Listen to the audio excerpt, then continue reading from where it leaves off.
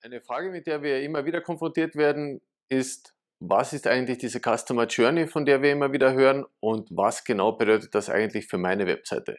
Ich zeige es euch ganz kurz. Äh, die Customer Journey ist sozusagen die Reise, die eure Kunden durchmachen, von dem Punkt weg, wo sie merken, sie haben ein Problem, bis zu dem Punkt, wo sie wirklich kaufen und noch einen Schritt weiter, wo ihr sie so happy macht, dass sie für immer Stammkunden bei euch bleiben. Funktionieren tut das Ganze so, wir arbeiten normalerweise mit einer Customer Journey mit vier Phasen. Das heißt ganz einfach, die erste Phase, die sogenannte Awareness-Phase, dort merke ich, ich habe ein Problem. In der zweiten Phase, in der Consideration-Phase, da suche ich nach unterschiedlichen Lösungsmöglichkeiten. In der dritten Phase gehe ich tatsächlich ein Produkt kaufen und die vierte Phase, die nennen wir auch After Sales. Ja? Ich zeige euch ein kurzes Beispiel aus dem richtigen Leben, dass ihr eine Vorstellung habt, was das eigentlich bedeutet. Stellt euch vor, Ihr steht in der Früh auf, geht in die Küche und vor eurem Kühlschrank ist eine Riesenlacke. Ja? Also definitiv, ihr habt ein Problem. Was ihr normalerweise jetzt nicht tun werdet, ist sofort einen Kühlschrank kaufen gehen. Sondern ihr werdet wahrscheinlich die Lacke wegmachen und einmal schauen, was ist denn genau die Ursache. Ist etwas im Kühlschrank umgefallen? Ist der Strom ausgefallen? Ist der Kühlschrank kaputt? Hat der Hund Alakal hingemacht? Oder habe ich einen Rohrbruch hinterm Kühlschrank? Das wären alles Möglichkeiten oder Ursachen, wo das Problem herkommt. Wir Menschen finden solche Sachen normalerweise durch Ausschlussverfahren raus. Das heißt, ich kann alles andere ausschließen. Tatsächlich, der Kühlschrank ist kaputt. Dann gehe ich trotzdem nicht gleich hin und kaufe einen Kühlschrank, sondern ich komme in die Consideration Phase. Und in dieser Phase suche ich immer noch Lösungsmöglichkeiten. Lösungsmöglichkeiten für mein Problem wären klarerweise einen Kühlschrank kaufen. Alter, andere Alternative ist den Kühlschrank reparieren. Dritte Alternative ist, ich habe noch einen zweiten Kühlschrank, den ich bis jetzt nicht gebraucht habe. Vierte Alternative ist, ich habe jemanden, der mir einen Kühlschrank borgen kann. Äh, fünfte Alternative ist, ich bin so alternativ, dass ich sage, ich brauche gar keinen Kühlschrank, ich mache so einen Balkonkühlschrank.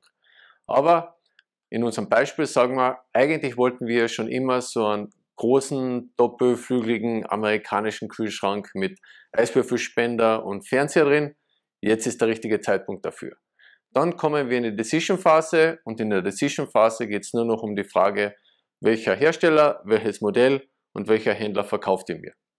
In der Delight-Phase bringt ihn der Händler dann zu euch nach Hause, stellt ihn auf, schließt ihn an, bringt eine Kiste Bier mit, weil er sagt, ein leerer Kühlschrank darf nicht sein. Dann wäre diese Delight-Phase richtig abgehandelt. Wahrscheinlich würden wir dann auch gleich ein Foto davon machen und das auf Social Media posten, dass alle Freunde sehen, schaut, der Kühlschrankhändler bringt sogar äh, mir eine Kiste Bier mit. Okay, so funktioniert der klassische Customer Journey. Wir Menschen brauchen Customer Journeys eigentlich für alle Produkte, die wir kaufen. Einzige Ausnahme sind Produkte des täglichen Bedarfs. Also für einen Liter Milch läuft sie das nicht mehr durch. Das ist erledigt, da kaufen wir immer das Gleiche. Äh, was sich jetzt durchs Internet in den letzten 15 Jahren deutlich verändert hat an der Customer Journey, ist einfach die Frage, wann die Kunden das erste Mal zu euch ins Geschäft kommen.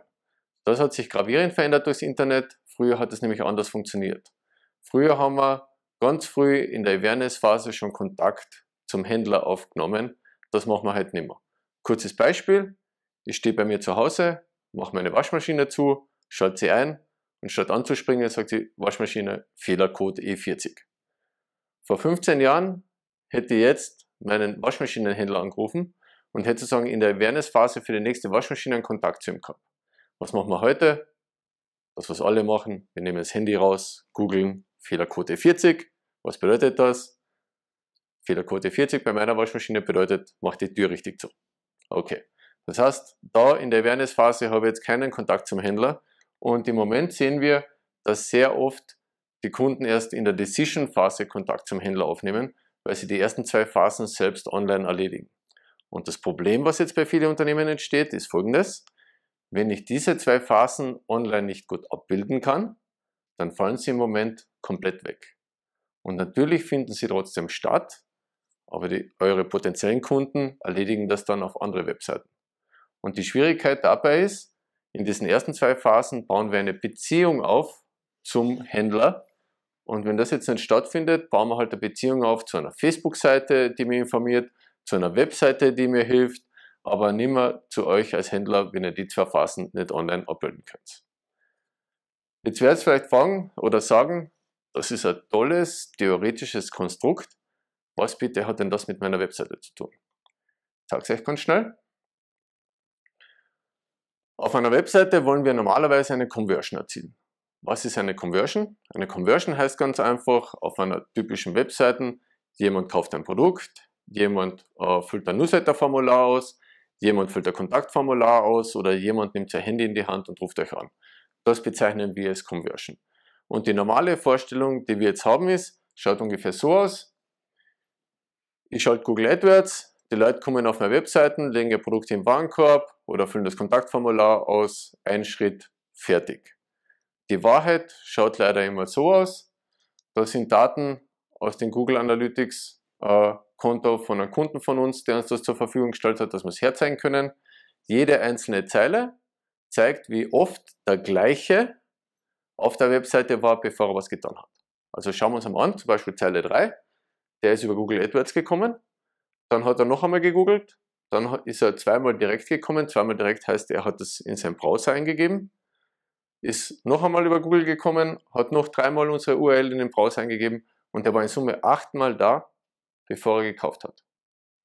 Und ganz schlimm, aus meiner Sicht, ist die Zeile 5. Das sehen wir in jedem Webauftritt. Der war 217 Mal da, bevor er was getan hat.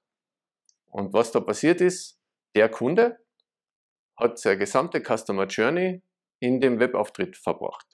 Aber das heißt natürlich, dass der nicht 217 Mal auf der Produktunterseite war, sondern der war im Blog, der war auf der Startseite, der war im Impressum, der war in den AGBs, der war überall. Bis er dann endlich irgendwann genug Vertrauen gehabt hat, dass er gesagt hat, jetzt kaufe ich. So funktioniert eine klassische Customer Journey und so müsst ihr das für eure Webseite betrachten.